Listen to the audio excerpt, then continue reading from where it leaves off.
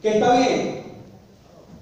Aplaudo el hecho de la unión, pero debemos entender que este régimen no saldrá con métodos democráticos clásicos ni modernos. Desde la movilización, desde la lucha, desde denunciar todos los delitos cometidos por este régimen, es la única forma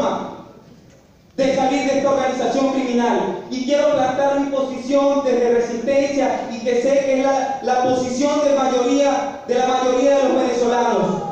Aquí lo único que se debe elegir es la cárcel donde Nicolás Maduro Moro debe pagar el resto de su vida.